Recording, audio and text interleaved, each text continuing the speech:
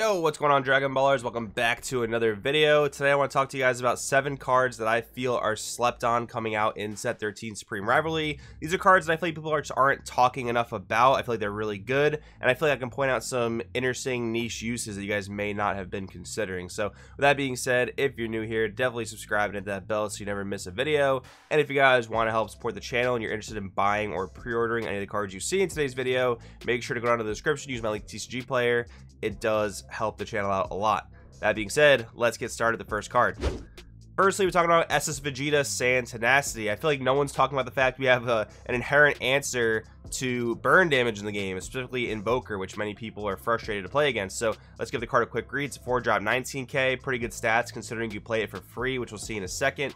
If your leader card's blue and you take damage from your opponent's non-keyword skills, like Invoker, Catastrophic Blow, and other forms of burn damage that red has, for instance, you may play this card from your hand. If you do, add a top card deck to your life, and you can't activate the auto skills on copies of this card for the game. So that last restriction there makes it a little bit more difficult to use because the question becomes how many copies of this do you play in your side deck do you side three to you know kind of guarantee you see it against invoker can you get away with two i would say you could probably get away with two considering the fact that most decks that are going to deal burn damage to you aren't going to do it until turn 4, turn 5, right? Invoker, generally always going to be turn 5 or later that they're going to try to burn you to death with Catastrophic Blow. Then you have cards like ISR Nappa and some other weird red cards that realistically don't see play, so you wouldn't really be siding this for those cards, but if you happen to just come against them and you're playing blue and you're already signing this card for Invoker, it does have that application in that random rogue matchup. But for Invoker, I think this is a pretty good 2 of sideboard for blue, just considering that you're able to negate some of that burn damage. What's funny is this card's actually playable in Invoker because it doesn't specify mono blue leader, so that in mind, I'm sure Invoker mirror matches are going to be a ton of fun. Anyways, let's go to the next card. We have Cooler Effortless Strike. So, I don't know, uh, just for me, I feel like people aren't talking about King Cold a lot. Some people talking about it being like a, a, way for green to come back. I'm not necessarily sold on that. I did talk about that in my meta predictions for the set, which came out earlier this week.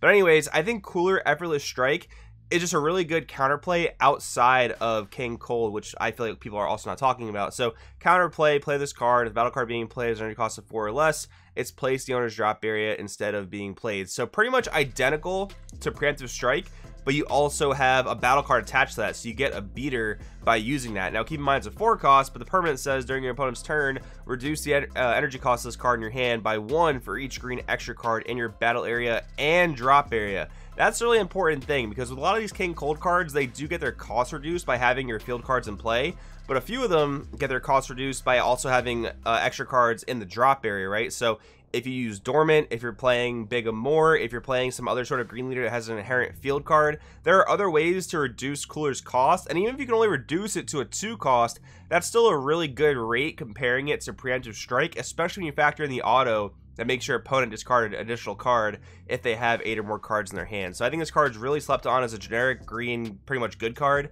So I did want to kind of point that out that you should be looking at this card if you're looking at other green, like generic toolboxy types of decks. Now we have King Vegeta Hidden Ambitions, one drop counter counter for red. Now I feel like a lot of people did talk about this when the card was first revealed, but ever since then it's pretty much fallen off, and that's somewhat understandable, but I think it's still a card you should heavily consider side decking because this becomes one of those cards that if you're not playing it, if your opponent knows you're not playing it, maybe like they just get the inkling you're not playing it because they haven't seen it all game long, or maybe it's top cut and you're able to view each other's deck lists.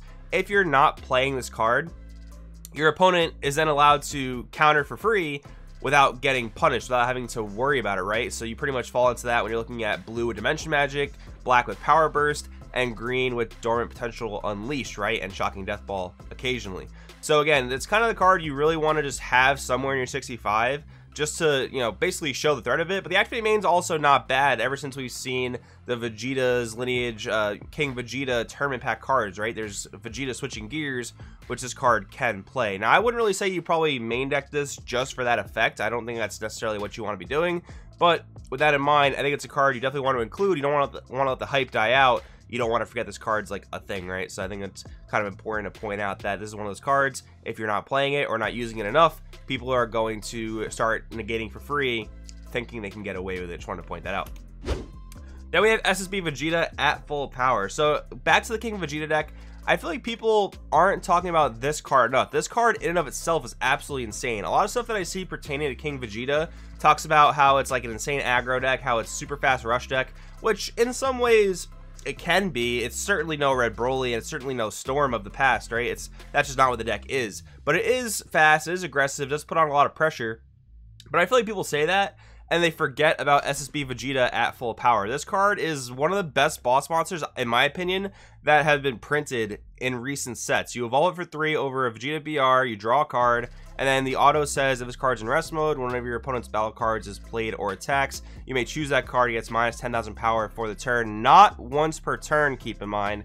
And then auto, when this card's removed from your battle area by an opponent's skill, place one card from your opponent's life in their drop area. So uh, if they play cards and or attack, no matter what, when this card's in rest mode, your opponent, uh, they just get minus 10. So that just gets you super big value uh, throughout an entire turn. And then if they remove this thing, they're critting a life. And on top of that, it's a 3 drop 25k double striker with deflect. So uh, that's why I play and view King Vegeta much more as like a mid-range deck to kind of sit on this guy. And don't get me wrong, there's some matchups where you want to be aggressive, some matchups where you want to sit back and lean on this guy. So it kind of just takes, you know, playing the deck a lot and getting to know which situations you need to do what thing in. But I still think it's a really good card that people aren't really considering when they call King Vegeta just like super duper aggro.